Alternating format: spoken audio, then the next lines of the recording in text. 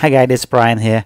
Um, today I'm going to show you how to uh, unsubscribe um, an application that you bought on Apple Store.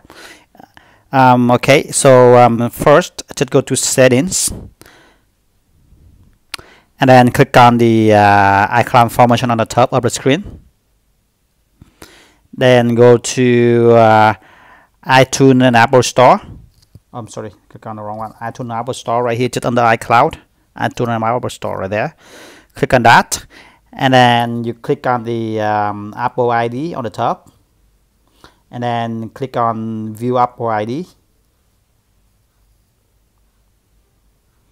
it will open up the new uh, screen and you scroll to uh, subscription. Click on that and it will uh, shows all the application that you uh, bought or subscribed. Just give it a second or so. Still uh, spinning.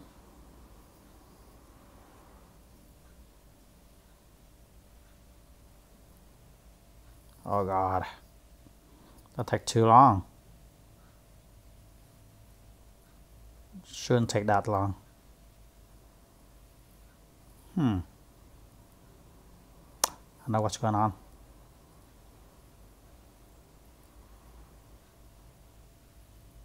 Hmm.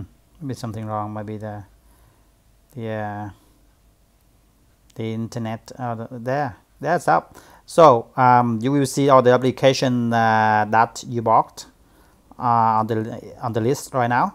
So just click on the one you want to cancel. Say I want to, I'm gonna click on the VPN proxy master and click on that.